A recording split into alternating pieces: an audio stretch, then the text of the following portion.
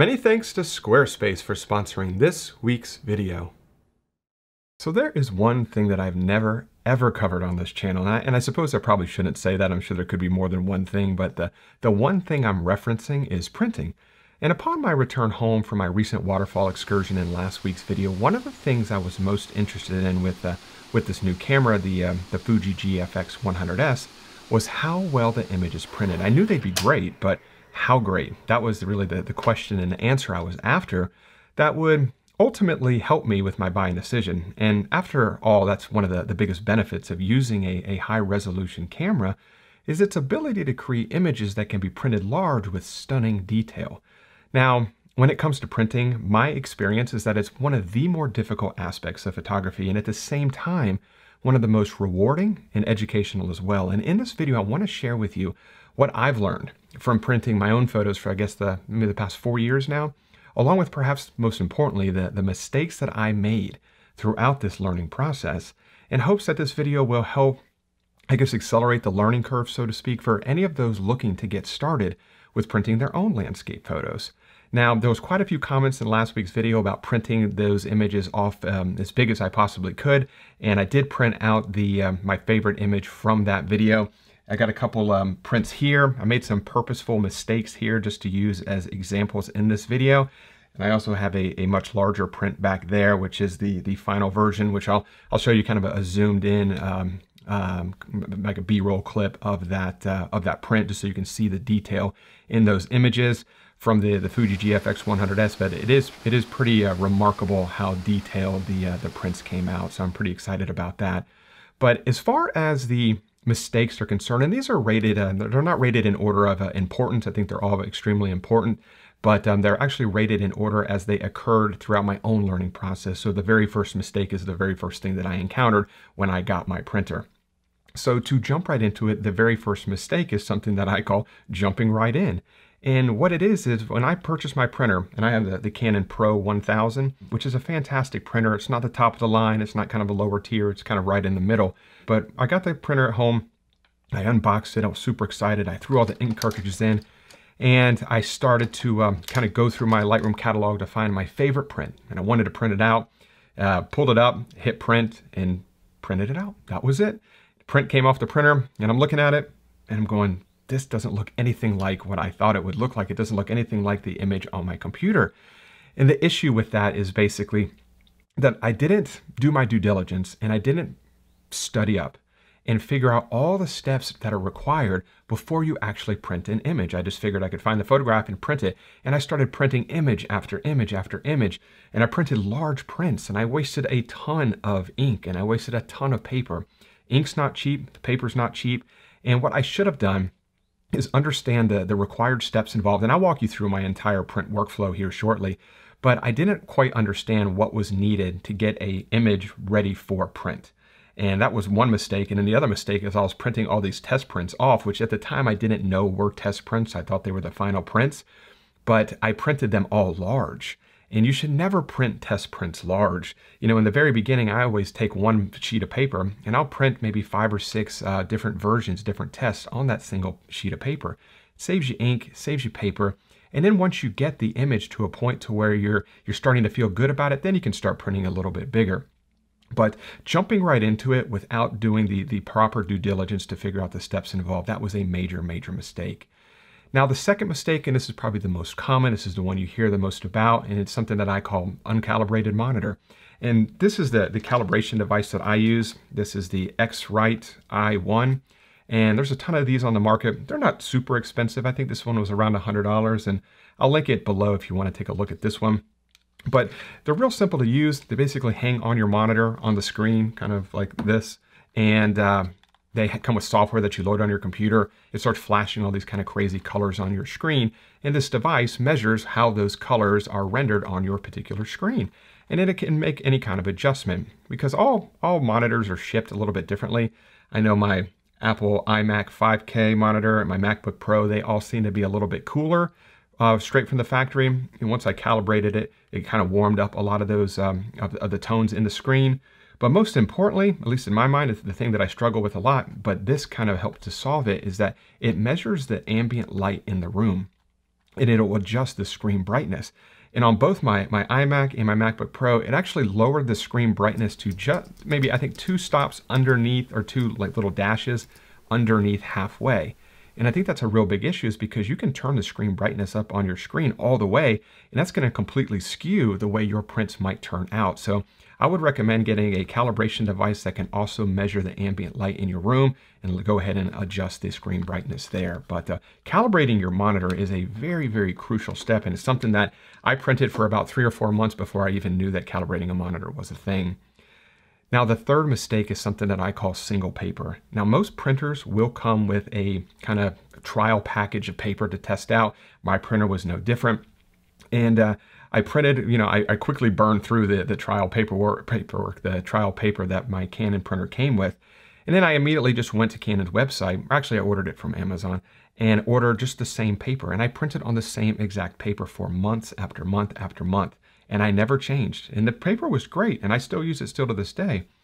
But I didn't kind of expand my horizons at all. And there's so many different fantastic paper manufacturers out there, and there's so many different types of print that will all result in a completely different end result. You know, you have you have matte paper, you have gloss, semi-gloss, lusters. There's a lot of different types of paper out there. And it helps you kind of the educational process of it all because certain images print better on certain types of paper. So if maybe a black and white image will look better on a matte paper, or maybe a, a really vibrant or an image that's got a ton of punchy colors in it, that'll look better on a, on a kind of high gloss or semi-gloss or maybe a luster type of paper. And just going through that process and broadening your horizons and testing different types of paper will just help you to better understand exactly what type of an image will look best on a certain type of paper. And these are the types of paper that I use right now. This is a Hahnemühle. This is a fine art paper. This is a, a, matte smooth paper. This is very nice. I like this one a lot. And then this is the, the other paper I use. This is the, uh, the semi-gloss from Canon. This is the type of paper that my printer comes with. It comes with a, a, much smaller size, but this is the, the largest size that my printer will actually print. But this is a fantastic paper as well. But there's, those are the two that I, whoops, those are the two that I use mostly, but just testing out a bunch of different types of paper is definitely going to help you in your, your overall learning curve and your, your printing journey as well. Now, the, the fourth mistake, and this is a really big one, it's something that I call no paper profiles. And I'll start to kind of show you, walk you through my overall printing process here. But a paper profile, I've heard this described as kind of like a language. There's, there's many different languages all around the world, and there's many different ways to say a singular word. So maybe the word print is the word print in every single language, but it's said completely differently. I, I, hope that made sense. But when I heard that comparison, I was like, okay, that makes sense of what a, a paper profile is. And you can download these from most um, paper manufacturers' website. Just kind of punch in exactly what paper profile you're looking for, for what type of uh, paper that uh, you're using of that manufacturer's, and you can download it. It's all for free, and you can load it directly into Lightroom, and it's really cool what it will help you do. So as far as my process is concerned, this is my favorite image from that waterfall trip in last week's video. I always come up here to the Develop module, and the very first thing I do is come down here to Soft Proofing. You'll notice that that changed the actual border around the image to white, but that's not only what it does, and it's nowhere even close to the most important thing that it does in my opinion, but it adds this dialog box right up here. And this is where you can actually select the paper profile. So if you come up here to profile and drop this down, these are the two uh, profiles that I have logged or have available on my MacBook Pro. Most of the printing I do is on my iMac, but um, if I select this right here, Pho uh, Photo Rag, and I select this right here, simulate paper and ink. Watch what happens to the photograph. It completely changes it. And what that's doing is it's basically accounting for the paper profile for that type of paper. And Lightroom's trying to kind of give you an accurate description or a representation, I should say, of what that image will look like using that paper profile, using that paper. And then you can make any kind of tweaks from there. So if I change this to a different type of Hahnemühle paper, smooth, you notice that changed it a little bit as well. Now, the fifth and final mistake is something that I call not print editing. And this is a big one. And it goes in line with the very first mistake when I first started printing. I, I, I didn't even pay attention to the fact that the way that you see an image on a screen is totally different than the way it was printed. So if you don't do any printing right now, none at all, then you're editing your images for the screen. You're editing them for your website, you're, you're editing them for Instagram, whatever the case may be, they're going to be viewed on a screen. And all screens are backlit. They all have a light source behind them. But when you start to print your photographs, that light source is removed. You no longer have that. And that completely changes the entire ball game. So you have to make some um, subtle changes. Sometimes the changes are, are, are large changes, sometimes it's very minor, but I, in my experience, I've always had to make some changes. So what I'll do is I, I, get, I go into Lightroom and I'll select the paper profile. Let's just say I'm gonna use this one right here. And then as soon as you start to make a change, let's say I'm just gonna increase the brightness a touch, Lightroom is gonna ask you if you wanna create a virtual copy for soft proofing. And I always say create proof copy. And it's basically, it's gonna create a virtual copy just for this print. Just that way you don't make any changes to the actual raw file. And this file right here, this is actually a TIFF file. I edited this image in Capture One, sent it over to Photoshop to finish it up. And then I'm gonna send it over to Lightroom now to do the actual printing. But in my experience, I almost always have to increase the exposure a little bit on my photographs. And then maybe out on this one, maybe decrease the blacks just a little bit. And then maybe sometimes if you have an image on the screen that might look a little bit flat already, maybe you want to increase the contrast a little bit before you print it. But going through that exercise, the, the more you do it, the better you're going to get. And it just takes practice. But like I said, in my experience, I always have to make some tweaks to my images, and it's usually increase the exposure a little bit because that light source is going to be removed from the, the paper, of course, because it's not going to be viewed on a screen.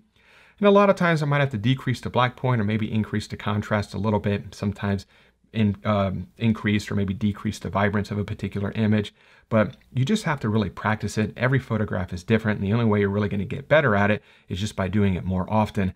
And I've improved, I think when I first started creating test prints, sometimes it would take me 20 or 30 test prints before I got an image really dialed into where I was happy with it.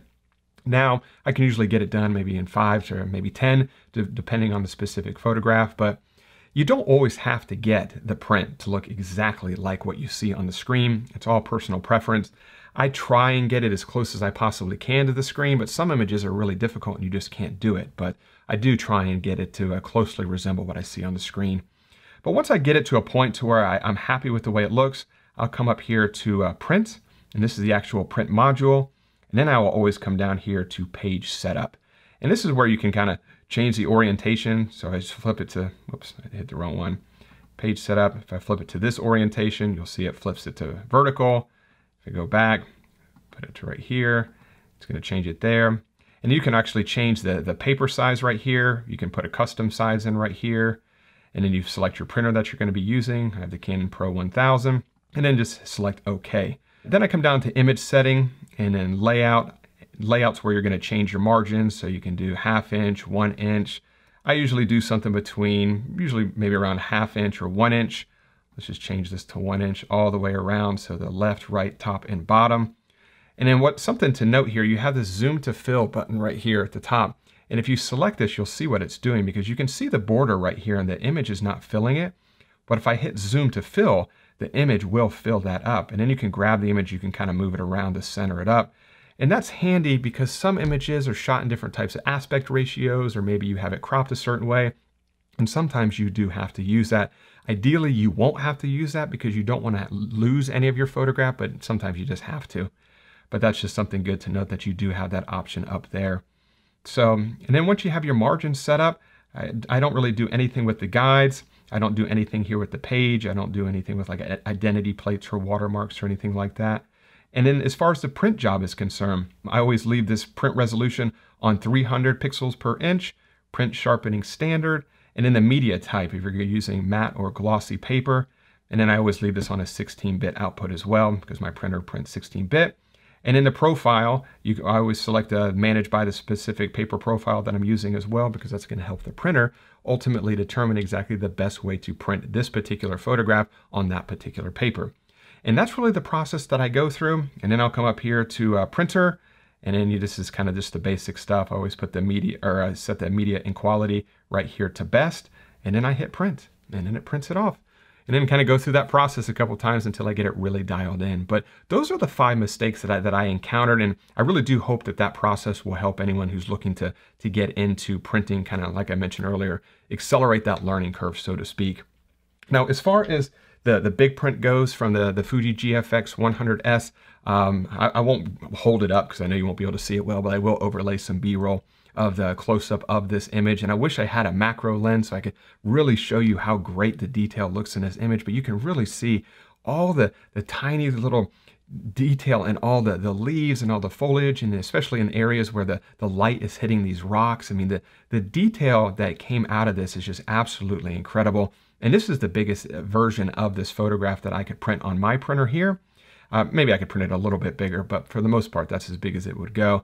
And I think that the bigger I print this image, the more that detail is really gonna jump out. And I probably will outsource a print and just print it up to a couple feet by a couple feet, maybe even bigger than that, just to see how good it actually does look. But the, the results coming off of the print are very, very impressive, and I'm pretty excited about it.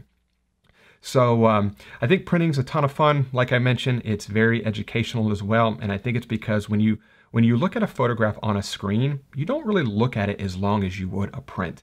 And when you're looking at a print hanging on a wall, I feel like you spend more time looking at it, you spend more time examining certain areas of the photograph, and especially if it is your print. So I think you end up noticing a lot of things that you might not notice in your image when you are looking at it on a print versus on a screen. So it's going to teach you a lot about your own photography and it's going to teach you a lot about what you like in your images and what you don't like. And it's going to enable you to make changes moving forward. So I think that printing is one of the most beneficial and the most educational things you can do to improve your own photography. So I do hope that that information was helpful. And before I do wrap up this week's video, I want to say just a, a real big thanks again to the sponsor of this week's video, which is Squarespace, who I use for all of my website and e-commerce needs. Squarespace provides a dynamic and attractive online platform to create your website. You can display your photography using Squarespace's professional portfolio designs and customize the layout and look and feel of your gallery just so you can make it your own. With Squarespace's traffic overview feature, you can track trends in page visits and views to better optimize your content, and you can even grow and engage with your customers with Squarespace's email campaign tools, which will enable you to create engaging emails that match your website with your products or blog post and logo just so your messaging remains consistent. So if you're looking to start a new website or possibly upgrade your current website, check out squarespace.com forward slash Mark Denney for a free trial and 10% off your first purchase. So if you have any questions about this week's video, just uh, leave them in the comment section below and I guarantee I will get back in touch with you. And if you did enjoy this week's video, if you could give it a thumbs up and subscribe to the channel if you're not subscribed already. And as always, I really, really do appreciate you watching this week's video and I will see you all next Wednesday. Bye.